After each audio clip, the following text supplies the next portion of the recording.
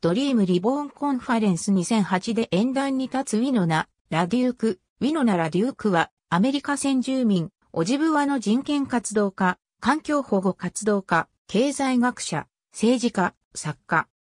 先住民の土地の回復と保護、持続可能な開発に関する研究と活動で知られ、また1996年と2000年、アメリカ緑の党の大統領候補、ラルフ・ネーダーの副大統領候補として出馬した。またダコタアクセスパイプラインの講義で積極的な役割を果たしている先住民環境擁護団体オナーザースのエグゼクティブディレクターでもある。ウィノナ・ラドゥークは1959年にロサンゼルスにおいて、オジブワ族の父親ヴィンセント・ラデュークと、ロシア系ユダヤ人の母親、ベティバーンスタインの間に生まれた。1950年代中頃、オジブワ族権利運動家だった父親のヴィンセントは、ミネソタ州の白い大地インディアン保留地の部族会議の腐敗ぶりに憤慨し、部族の窮状を合衆国政府に訴えるため、単身ヒッチハイクでワシントン DC に向かった。彼の母族である、オジブワ族の白い大地のバンドが1867年に連邦政府とインディアン条約を結んだ際に3387平方キロメートルあった領土は100年足らずの間にその9割強の土地を白人に奪われ縮小した領土での生活は貧窮し当時部族民の失業率は80%を超えていた。連邦の区別に過ぎない部族政府は部族のために全く役立たなかった。ヴィンセントは早くから権利運動に目覚め、部族会議でこれを激しく非難したのは15歳の時だった。彼はその途上でロシア系ユダヤ人のベティバーンスタインと出会った。二人は1958年に白い大地インディアン保留地で結婚し、ロサンゼルスへと移った。ヴィンセントはハリウッドの西部劇映画のエキストラとして働き、落馬スタントの名人として知られるようになった。一年後の1959年に一人娘、ベナイサイエクアイコとウィノナが生まれた。父親の賃金は安く、母親は美術教師となるため働きながら学校に通っていた。当時の目標はただ生き残ることでしたとウィノナは回想している。1964年、両親が離婚し、母親ベティは南オレゴン大学の美術講師の職を得て、オレゴン宗教のアッシュランドに5歳のウィノナと共に引っ越した。ベティは再婚し、学問仲間と中流家庭を持つことができた。当時を知るウィノナの友人たちは、彼女が学校よりも裁縫や物を作る方が好きで、物静かで好奇心旺盛な少女だったと10回している。しかしこの礼儀正しく、物静かという態度は、インディアンとユダヤ人の根血である彼女に対する人種差別に対する彼女なりの処方でもあった。ウィノナは地区のジュニア及びシニアのプロムには決して招かれなかった。母親ベティは娘に行動主義を教えた。インディアン活動家としての精神を育まれたウィノナは、当時拡大していたインディアンの権利運動、レッドパワーに早くからその身を投じることとなった。欧州公演中のウィノナ・ラデューク1974年、15歳のウィノナはアメリカインディアン運動のローレライ・デコラ・ミーンズ、マドンナ・サンダーホーク、フィリス・ヤング、ジャネット・マクラウドら女性運動家らと共に、インディアン女性の権利運動団体、すべての赤い国の女たちの発起人となった。また、同年6月の国際インディアン条約会議創設にも参加。一致は国際連合経済社会理事会が非政府組織と認めた最初のインディアン団体となった。1977年、高校生時代にベンドン大会でチーム優勝したウィノナはハーバード大学にスカウトされ、同校に進んだ。ここでウィノナはチェロキー族の活動家、ジミー・ダーラムと出会い、アメリカインディアンが直面する環境問題に取り組み始めた。同年、ジムの手引きでウィーノナは、一致代表団の一人として、スイスのジュネーブで開催された国連会議に参加。一致は、我々の民族名はアメリカインディアンであると、全会一致で決議表明した。18歳のウィノナは、各国代表の前で、インディアン条約の問題点について演説し、一躍国際的な有名人となった。1982年、インディアンの経済発展を専攻し、この研究で学士号を取得したウィノナはハーバードを卒業した後に白い第一インディアン保留地に移った。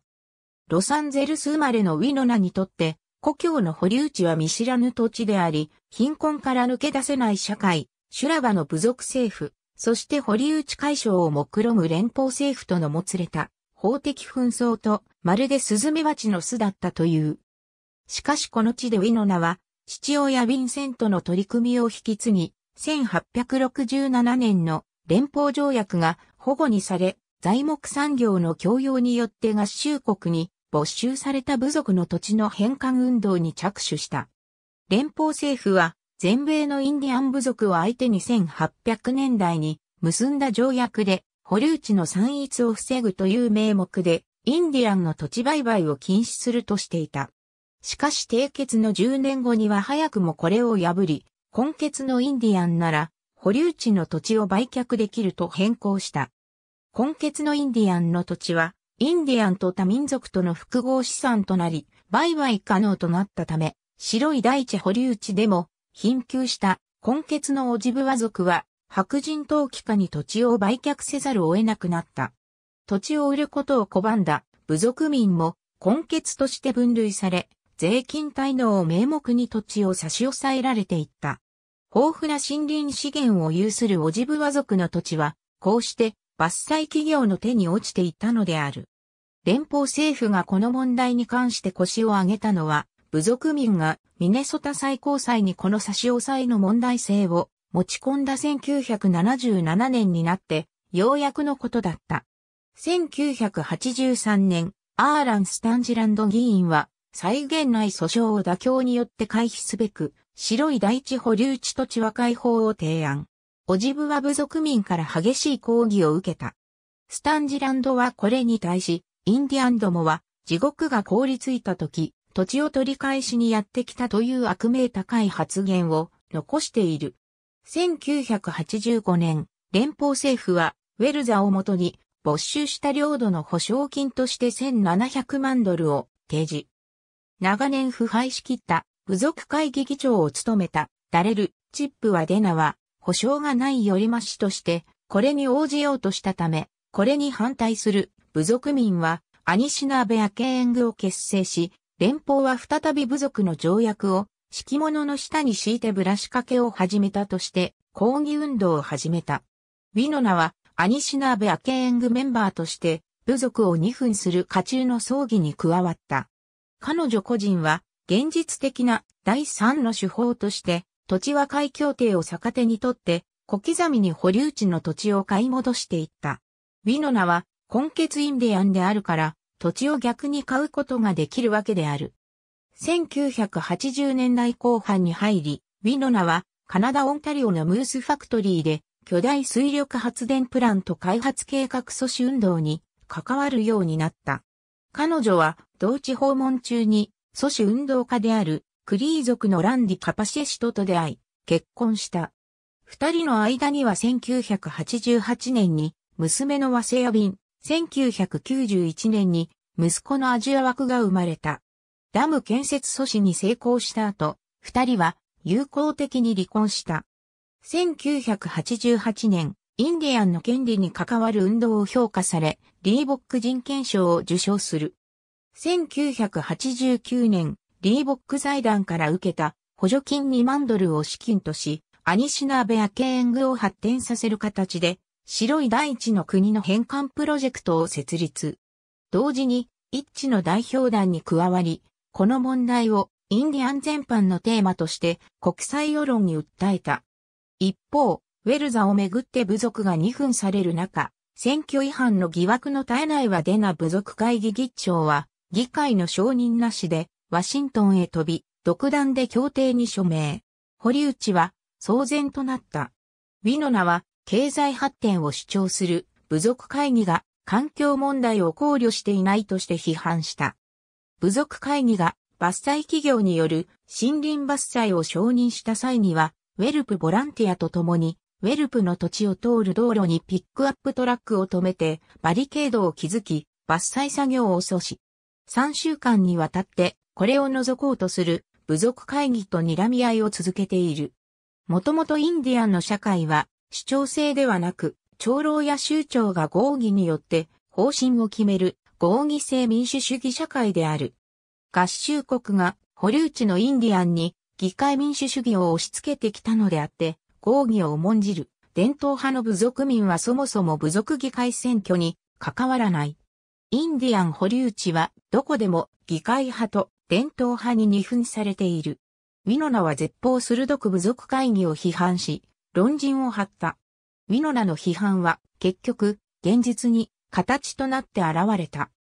1996年6月、部族議長、ワデナと側近のジェディ・ローリー、ディック・クラークが、マーノメンにある部族のインディアンカジノである、シューティングスターカジノの建設入札を不正に操作したとして、連邦裁判所で有罪判決を下されたのである。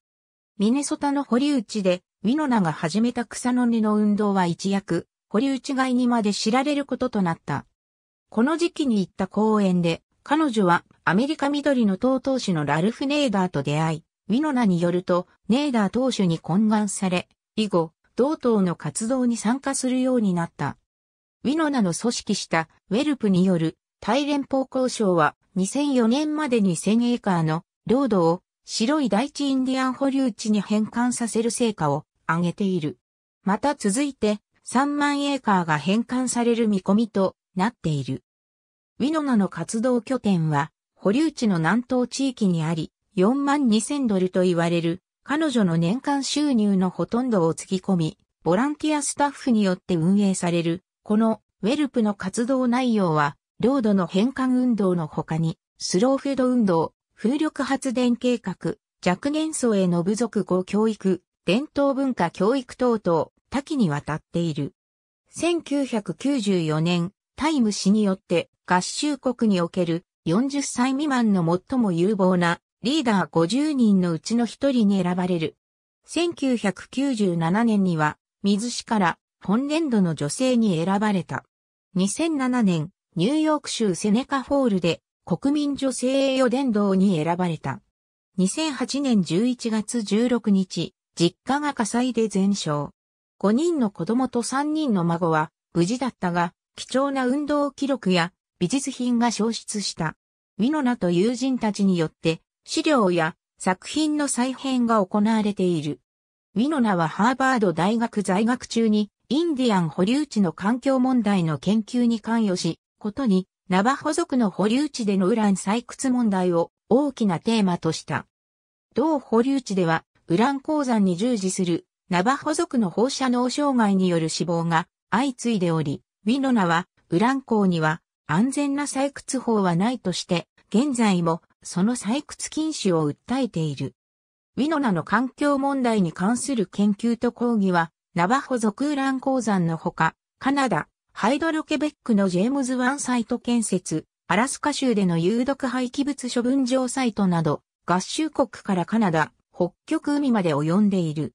アラスカやカナダのエスキモーやイヌイット女性の母乳から、異常な高数値の PCB が検出されているとのウィノナの報告は環境科学者によっても確認されている。1988年にカナダラバル大学のエリック・デ・ウェリー教授らがハドソン湾園で行った調査では、同地の女性の母乳にカナダ政府の安全基準の6倍強の PCB が検出された。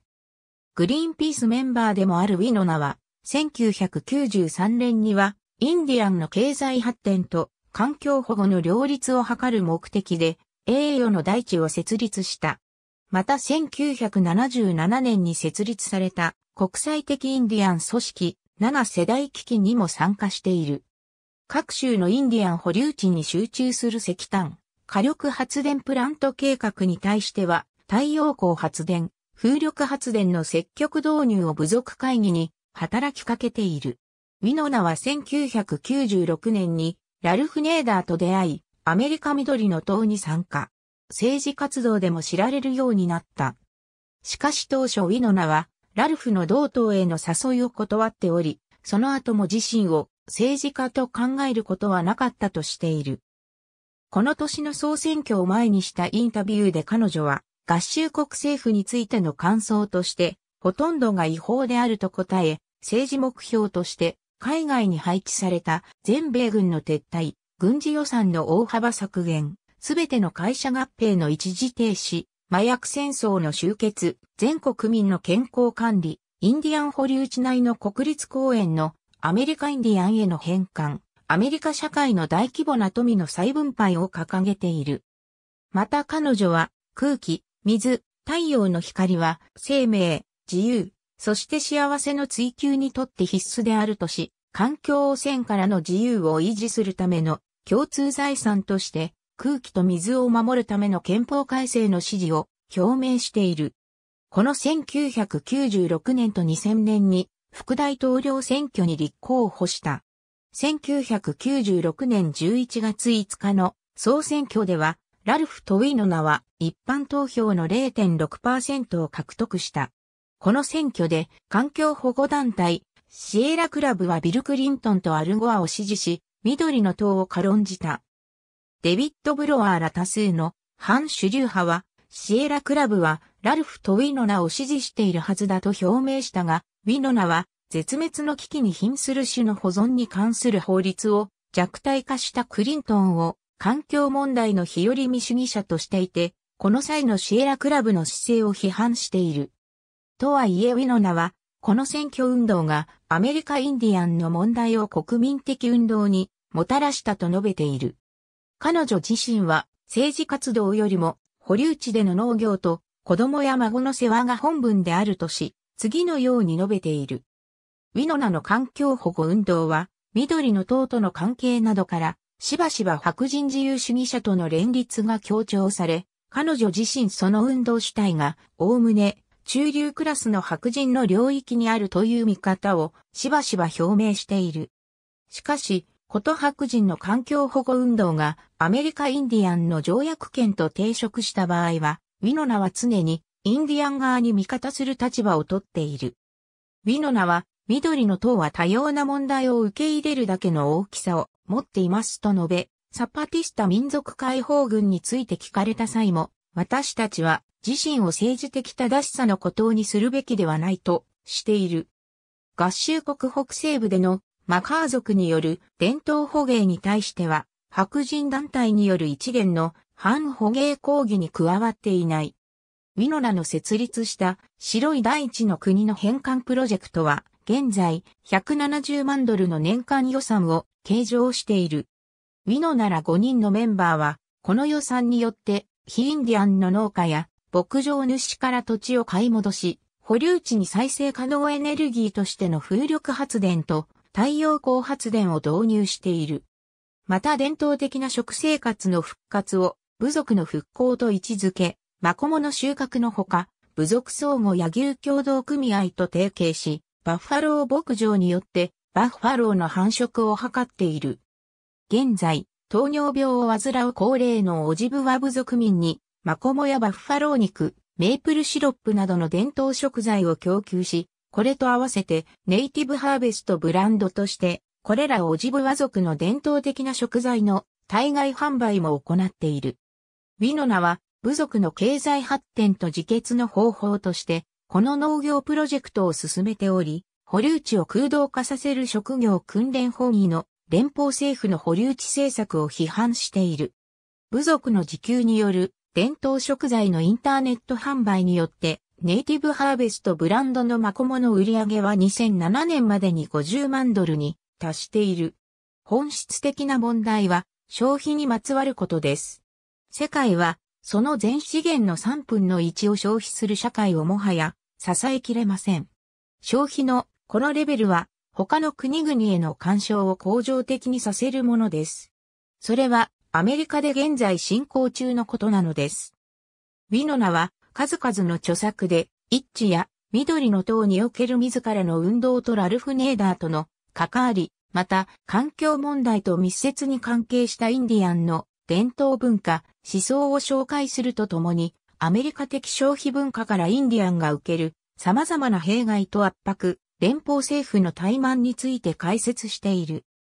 ことに、インディアン保留地をゴミ捨て場とする核物質をはじめとする産業廃棄といった環境面の問題、また伝統文化をステレオタイプに肝骨脱退する白人たちのインディアンからの窃盗という文化面の二つの問題を激しく批判している。ありがとうございます。